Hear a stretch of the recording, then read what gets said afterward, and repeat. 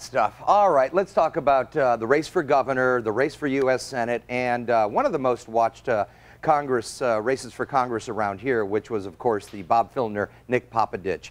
And joining me now this morning, political analyst and consultant, John Dadian. John, good morning. Good morning. You have that glow, you have that after election day glow. You love this stuff. Well, it's like a junkie coming off a high. Of course, this is what we live for. It is indeed. All right, we're looking at the numbers right here, and I think this is surprising a lot of people this morning, and maybe not surprising a lot of people this morning. Jerry Brown pulled this thing off yesterday, 54% to Meg Whitman's 41%, despite all the money that was spent by Meg Whitman and the message that she got out there.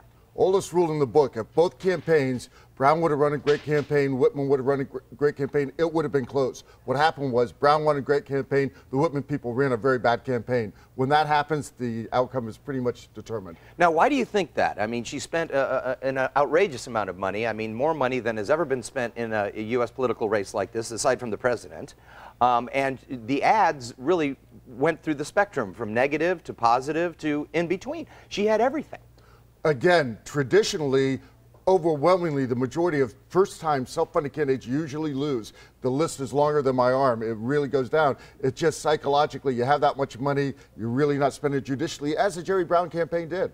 Yeah. Speaking of spending a lot of money, we move on to uh, Carly Fiorina, who, uh, of course, you know, she spent a lot of her own personal fortune on this as well. And we were just talking about Barbara Boxer going back for a third term. You call her the Teflon candidate, almost like Ronald Reagan, they used to call him. A lot of people, especially the Republican Party, say that Barbara Box has a lot of baggage. I think that's completely accurate. If you look at all the gaffes she's had, and again, when you're in public office that much, you develop a lot of baggage, etc. She keeps winning. She just keeps on winning. You can call her the Teflon candidate. You could call her the Energizer Bunny. Yeah, well, she keeps on going. She does. That, that is for sure. 50% to 45%. And then Carly Fiorina, of course, you know, she gave it the good fight. Um, what happened to her campaign?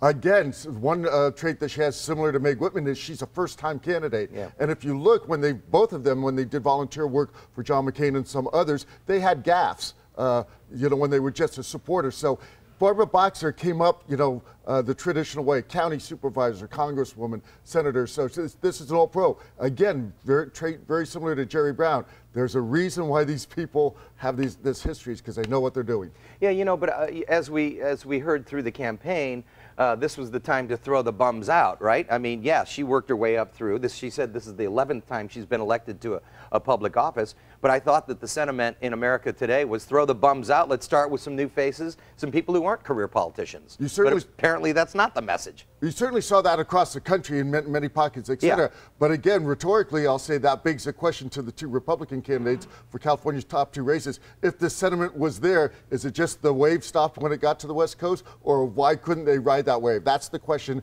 that people are going to be uh, picking apart these campaigns afterwards. Yeah, that's for sure. Got two years to pick that one apart. All right, now this is a race a lot of people were watching. Nick Popaditch, of course, a, uh, a war veteran, and Bob Filner. Um, Nick Popaditch thought, you know, we, we talked to him a lot, and we talked to both of them a lot through. They thought it was going to be tighter than this. 60% Filner gets down there to uh, Popaditch is 40. Absolutely. Keep in mind one aspect of that race, with all due respect to Nick Popaditch ran a great campaign and he ran a very aggressive campaign. However, the current districts, the gerrymandering, the registration is so overwhelming, it really was very tough. Here is a few things to watch for the future. What's going to happen the next time this particular congressional seat is up? The lines will be different. It will be redistricted ne next time. That's a huge difference. Prop 20, it looked like passed, and Prop 27 failed. So Congress now is going to be in the redistricting commission. That's a huge change, first time in the state. So I think Nick Popaditch is looking toward the future. He's already got his eyes on two years from now. And Bob Filner looking at? Well, Bob Filner's been in 17 years. Every Congress member of Congress I've ever talked to says the same thing. It's no fun being in the minority party. You lose a lot of power. So he's been in 17 years. He's going to be the minority power right now. Big rumor that he's running for mayor of San Diego in two years. I think that's a very real rumor. Well, that hat's getting busy. That's good. Everybody's running for mayor of San Diego in 2012 except Dan Plan and John Dadian. Yeah, us, we're, we haven't announced yet. Well, no, we're both smart enough. Maybe I, maybe I just speak for myself. Yeah, I was like, I don't want that job. I really, really don't. And then, of course, we'll just mention your candidate. You had a candidate in this race. Uh, San Diego County is going to have a new county assessor for the uh, first time in many years. There was an uh, uh appointed incumbent, so we had to put that on ballot as appointed. So uh, Ernie Dronenberg is going to be the new county assessor, uh, and we're looking forward to him doing good things at county government. All right, John Dadian, political analyst. Thanks. Thank you, Dan. See you later. Come down off that high. I know you love it.